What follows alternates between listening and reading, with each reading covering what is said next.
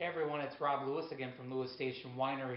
Hey, I've got a really great little aperitif wine here that I wanted to talk to you about. It is the Besitos Moscato.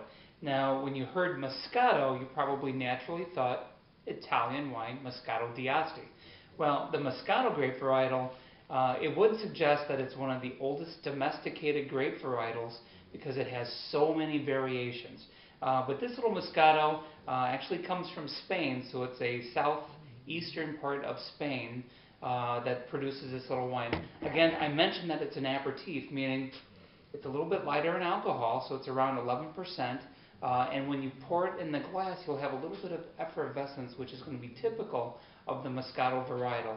Again, not all Moscato varietals, but this Moscato coming from Spain uh, would certainly be the case. On the nose, you're going to pick up a lot of rose petals and some beautiful peach. Mm. What a, lovely wine. What I would say, again, this is an aperitif, so it's perfect just for drinking all on its own. But if you're going to pair it with some food, you would want to do something light and fresh, maybe some um, fresh fruit, uh, a little fresh fruit salad would be awesome.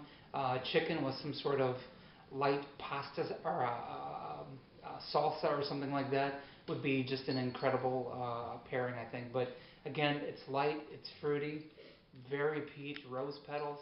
I would say just drink it all on its own. It's beautiful. Bye-bye.